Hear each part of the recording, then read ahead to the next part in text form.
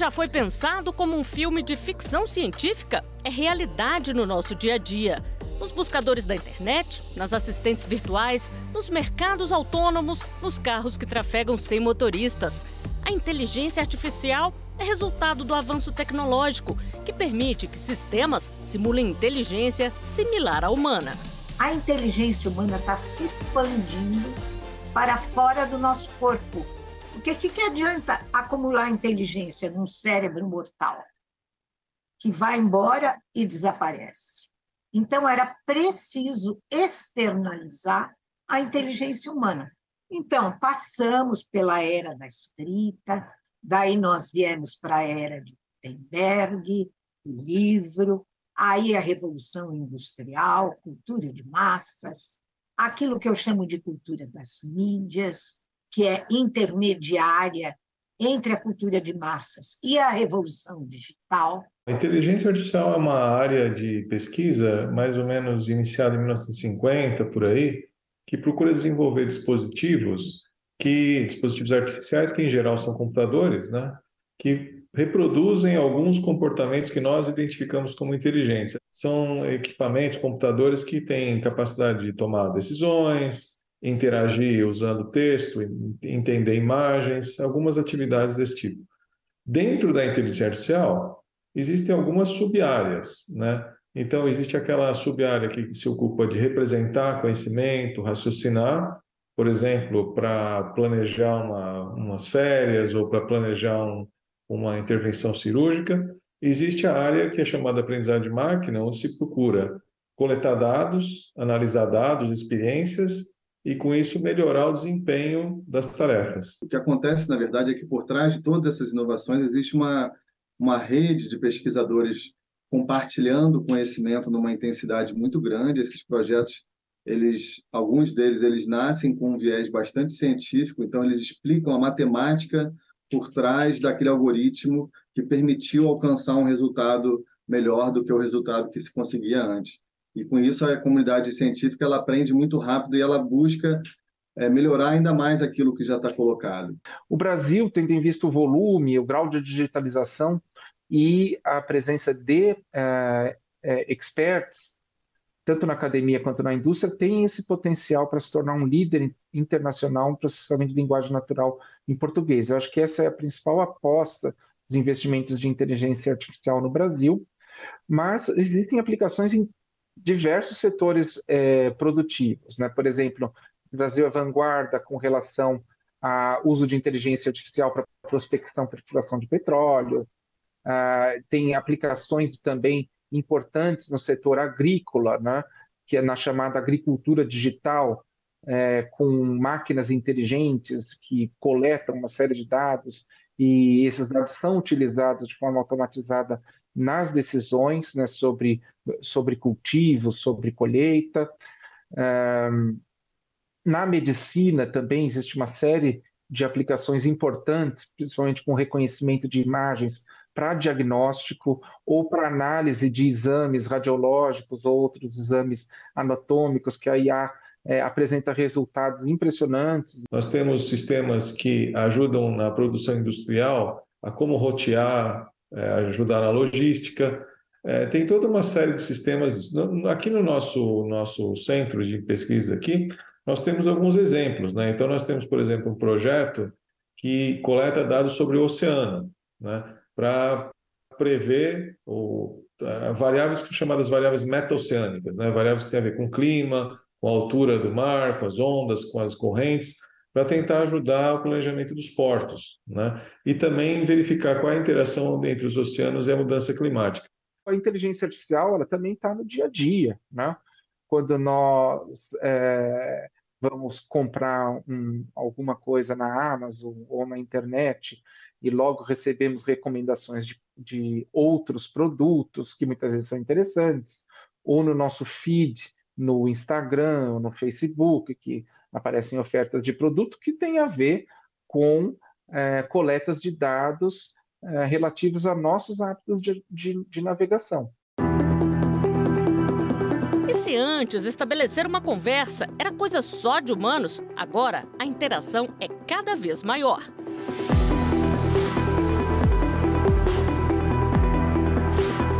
Criado em novembro de 2022, o Chat GPT simula a linguagem humana e consegue estabelecer diálogos.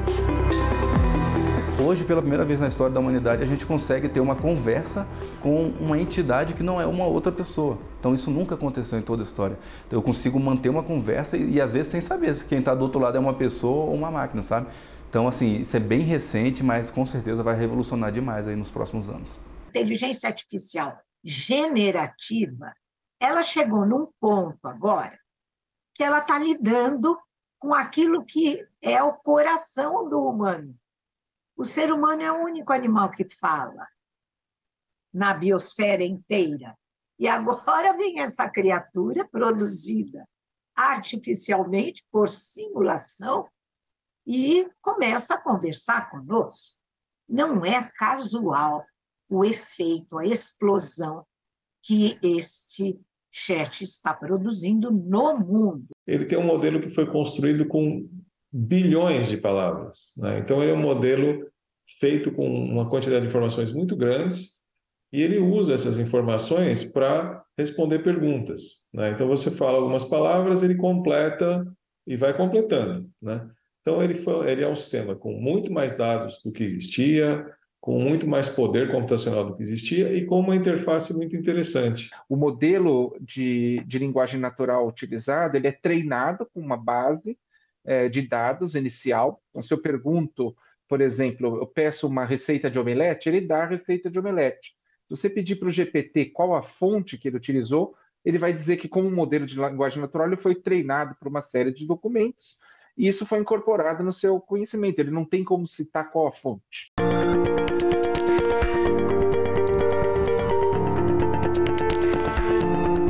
Um dos problemas que a gente tem hoje nesses sistemas é que eles nem tudo que eles produzem é, é correto, né? Então eles têm esse problema de fazer respostas falsas. Isso tem um grande potencial de gerar fake news, que é um problema, né? Tem um outro problema que as pessoas podem consultar o sistema e obter uma informação errada e achar que está certa, né? Por exemplo, você pode ter um estudante que responde uma questão para a escola, mas está errado. Então, existe uma série de problemas que vêm do, do fato que ele coleta informações de muitos documentos, mistura tudo e pode gerar uma, uma, uma sequência de palavras incorretas. Né? Então, esse é um problema. Outro problema que eu acho que vale a pena mencionar é que você pode consultar ele e ele está buscando é, fontes sem dar referência. Né? Então, você pode estar tá usando um texto que na verdade você está plagiando alguém sem nem saber. Quanto for usado como ferramenta de produtividade é, é muito bom, se for usado como um substituto para capacidades humanas é ruim. O ChatGPT, assim como os outros modelos de linguagem que estão aparecendo, eles são máquinas que são treinadas para prever palavras dado uma sequência de palavras anterior. Como que eles fazem isso? Com uma grande base de dados, como se tivesse baixado a internet inteira lido todos os livros que estão disponíveis, e a partir disso você tem uma estatística que diz: olha, a partir das palavras anteriores eu posso prever a próxima.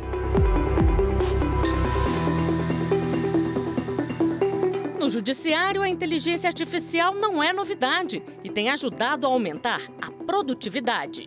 O STF ele foi pioneiro na adoção de ferramentas de inteligência artificial no judiciário brasileiro. O Vitor, sendo um projeto pioneiro, inspirou diversos tribunais pelo país a também desenvolverem e adotarem ferramentas de inteligência artificial. O Vitor começou no início do projeto classificando os, os recursos que chegavam ao tribunal em 27 temas de repercussão geral. Hoje ele já classifica todos os recursos que chegam com base em mais de 500 temas reconhecidos de repercussão geral. O Vitor ele faz isso com uma precisão de 80% e desde que foi criado, então ele expandiu a sua, uh, o seu alcance e continua em operação até hoje com excelentes resultados. Já a Rafa 2030, ela classifica os processos nos temas de, nos objetivos de desenvolvimento sustentável da Agenda 2030 das Nações Unidas com uma precisão superior a 90%. Hoje, todas as ações de controle concentrado de constitucionalidade, além dos paradigmas de repercussão geral, são classificadas de acordo com os objetivos de desenvolvimento sustentável, com o auxílio da ferramenta de inteligência artificial RAFA 2030.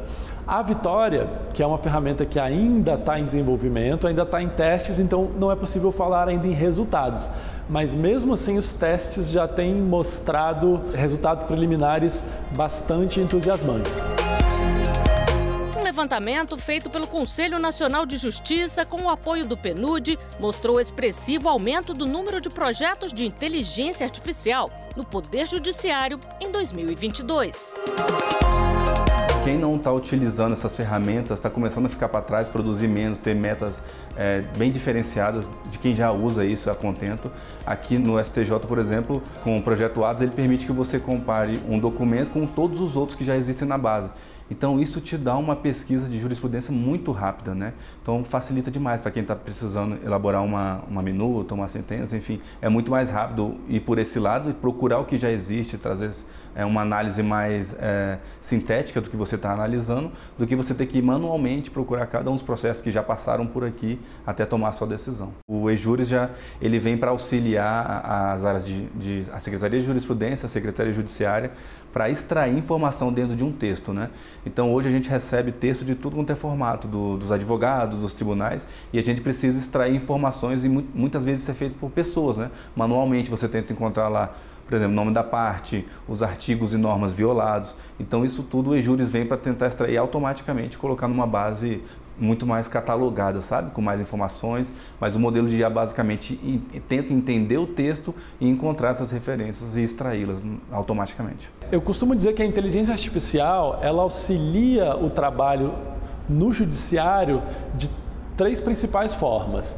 Primeiro, ela permite que o judiciário consiga tomar decisões de forma mais rápida, mais célere, porque ela permite que processos similares serão agrupados e, serão, e, e terão um tratamento de uma única vez, economizando muito a utilização da força de trabalho no tribunal.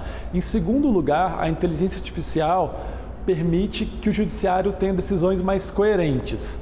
É aquela velha ideia de tratar casos similares de forma similar.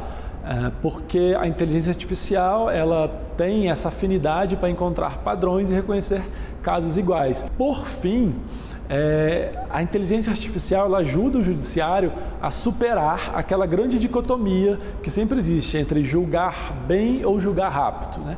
A gente sempre fica nesse dilema de apreciar mais processos de forma mais rápida para não deixá-los demorando ou examinar de forma mais detida é, para julgar com qualidade. Com o uso da inteligência artificial como ferramenta, a gente consegue, ao mesmo tempo que está julgando rápido, julgar com mais qualidade e de forma mais precisa. No Judiciário, existe uma resolução no âmbito do CNJ que regula o uso de inteligência artificial e estabelece critérios e parâmetros para a adoção e desenvolvimento dessas ferramentas eh, nos tribunais do país. É muito importante deixar claro, a inteligência artificial ela é uma ferramenta a serviço do judiciário e a serviço do julgador. A inteligência artificial ela vai indicar, apontar, mas a responsabilidade decisória e quem dá a última palavra quem de fato decide vai ser sempre o juiz, o julgador.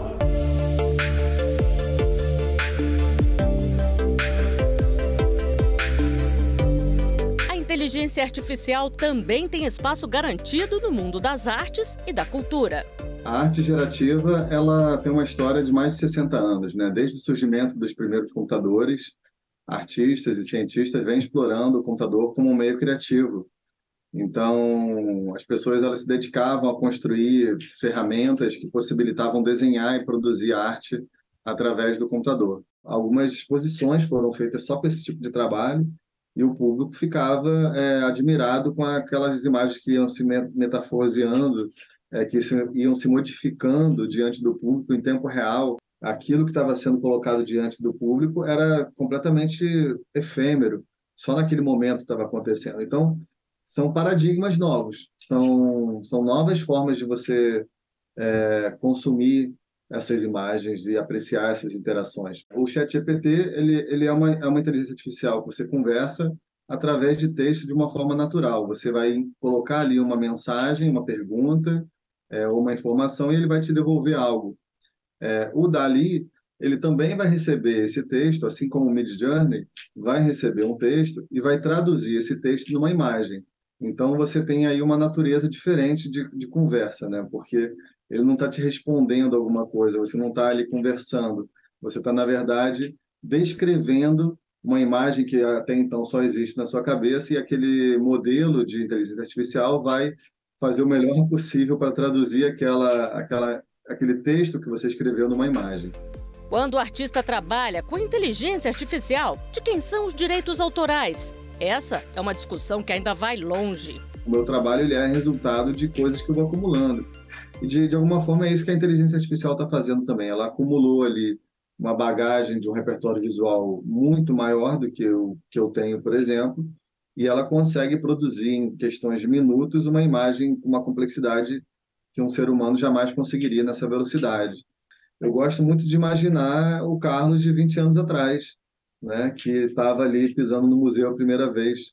Porque, é, por mais que a gente coloque o museu hoje dentro desse, dessa força de, de buscar um espaço de mais acolhimento para a sociedade, que o museu é para todos, que todos deveriam visitar o museu, a gente sabe, né, as pesquisas apontam que o museu continua sendo um espaço bastante elitista, que poucas pessoas têm o hábito de frequentar museus.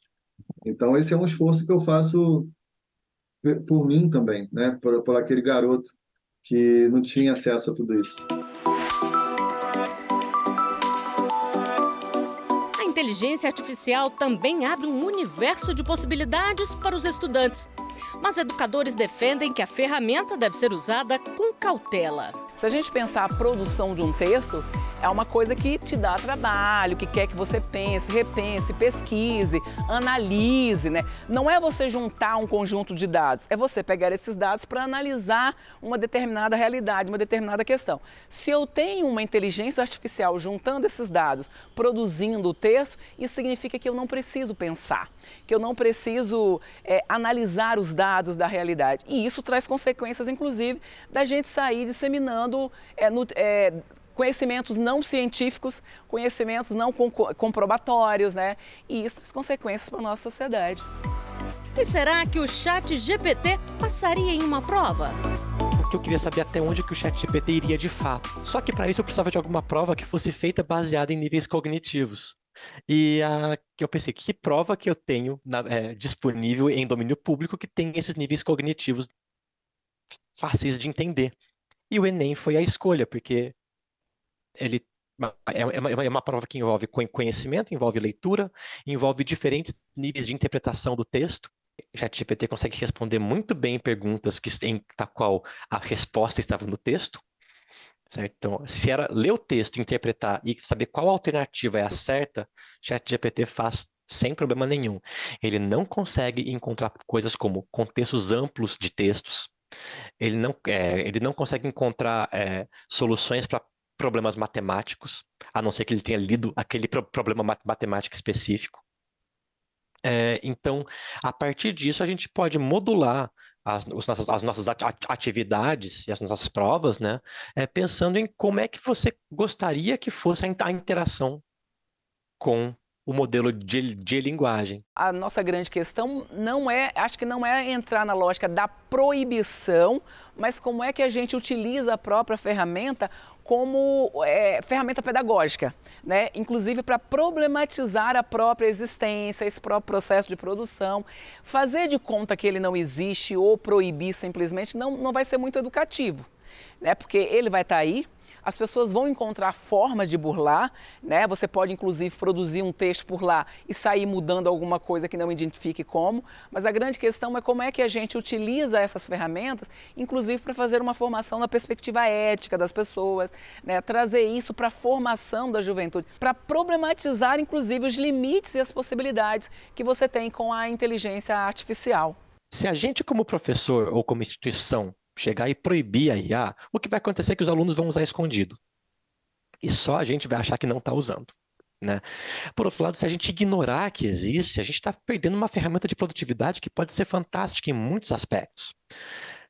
Por exemplo, nós temos é, alunos que é, são muito é, pouco hábeis na, na, redação. Se eles puderem saber o que, que eles querem escrever e tiver alguma coisa que clareia a, a redação, né, a gente evita de maquiar com uma redação ruim uma falta de conhecimento no assunto que a gente quer trabalhar. Quer dizer, a redação vai estar boa, portanto, as falhas de raciocínio vão estar claras. Ao invés de ser uma discussão que a gente já tem bastante, que é: será que a pessoa não sabia do que ela estava falando ou ela não sabe escolher as palavras certas para isso? Que são duas habilidades bem diferentes. Eu dou aula para doutorado, mestrado. Nós começamos a levantar algumas regras ad hoc éticas do uso do GPT e da, das outras formas de IA generativa. Isso tem que ser feito imediatamente, sem que a gente fique esperando por regras universais. A gente tem que pensar em formas de certas regulamentações, mesmo aquelas que a gente tem que estabelecer ad hoc nas nossas comunidades. Porque a ética não vai ficar esperando das grandes do grande pensamento universal sobre a ética. A ética tem que ser praticada. O, o ChatGPT ele ainda é muito novo e está em processo de desenvolvimento, mas já há plataformas ou mecanismos de você pegar, testar, por exemplo, ver um texto produzido no ChatGPT e um texto produzido por uma pessoa, você vai colocar né, esses, esse, esses textos e ele já vai te dizer, por exemplo, né, eu tenho visto muitos, muitas, muitos testes feitos por jornalistas, por pesquisadores, que ele vai te dizer, olha, tantos por cento produzido por inteligência artificial. No outro caso, não, tantos por cento produzido por uma pessoa. Né? Então você já tem mecanismos que identificam isso.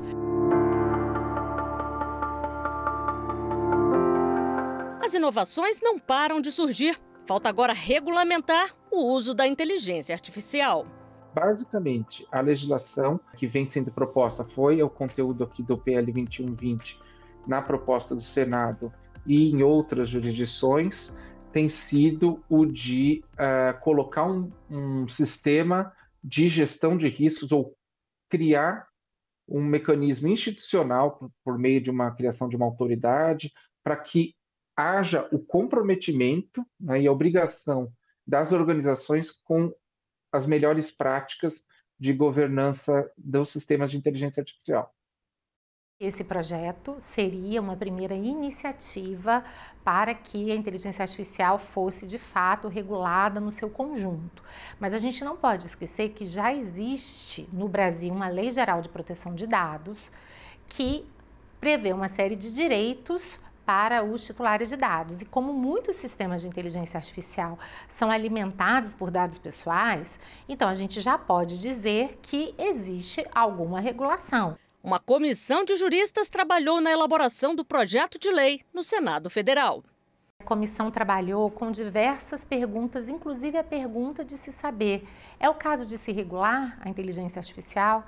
A gente já tem um certo volume de informações, um certo mapeamento de risco que nos permita evoluir, porque veja que ao mesmo tempo que a gente tem riscos inerentes à utilização da inteligência artificial e que continuarão até aumentarão sem uma regulação, uma regulação mal feita, uma regulação assodada, também pode trazer uma série de consequências negativas e pode inclusive frear a inovação. É importante que haja um ambiente seguro para investimento também né?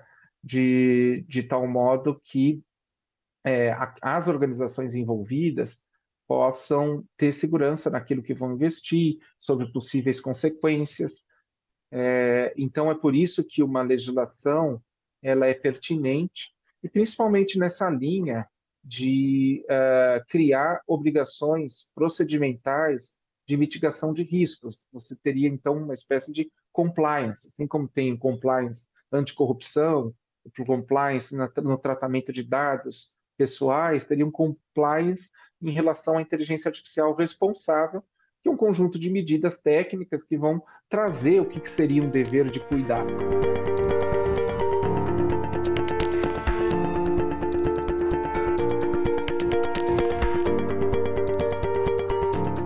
Esses avanços são irreversíveis, né? Assim, assim como buscadores vieram para ficar, redes sociais vieram para ficar, Agora a gente está tendo os modelos de, de, de, de linguagem que vieram para ficar.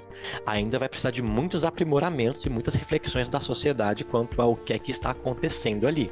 É sempre bom a gente pensar que quando a gente fala inteligência artificial parece que é uma coisa assim que caiu do céu, não, mas tem alguém por trás produzindo tudo isso. Então, eu acho que o conhecimento é a maior ferramenta que a gente pode ter contra qualquer outra coisa ou favorável a qualquer outra coisa. Então, é sempre conhecer, é sempre se comprometer com a checagem, com ter a ética. É sempre, eu acho que o caminho para a gente lidar com todas as questões que nós temos é na nossa sociedade. O Brasil ocupa entre décima e vigésima posição no mundo em produção de, de publicações e resultados na área nós temos hoje centenas de startups e empresas grandes montando laboratórios, né? então acho que a, sociedade está muito mobilizada e muito disposta. O, o, brasileiro tem uma tradição de receber bem novidades tecnológicas, então isso é, isso é positivo.